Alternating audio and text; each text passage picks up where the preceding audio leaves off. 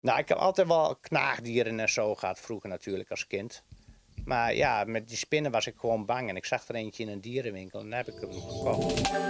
Het is vandaag dierendag en dat betekent dat veel baasjes hun huisdier eens even lekker verwennen.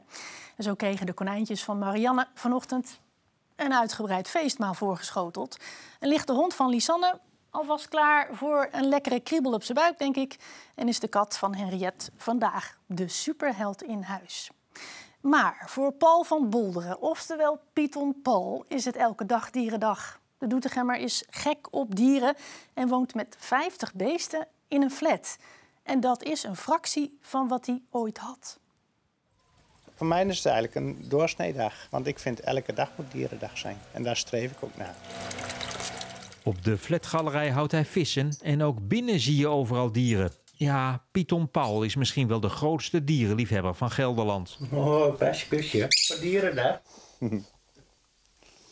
Je houdt echt van dieren. Ja, ik hou echt van dieren. Dieren zijn mij alles. En die liefde, geloof het of niet, is begonnen uit angst. Nou, ik heb altijd wel knaagdieren en zo gehad, vroeger natuurlijk als kind.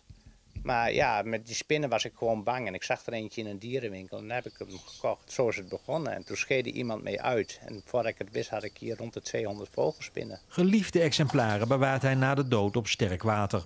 Python Paul had op het hoogtepunt honderden dieren. Want Paul gebruikte zijn flat als dierenopvang. Maar daar is Paul nu mee gestopt. Omdat het gewoon geen haalbare kaart meer is.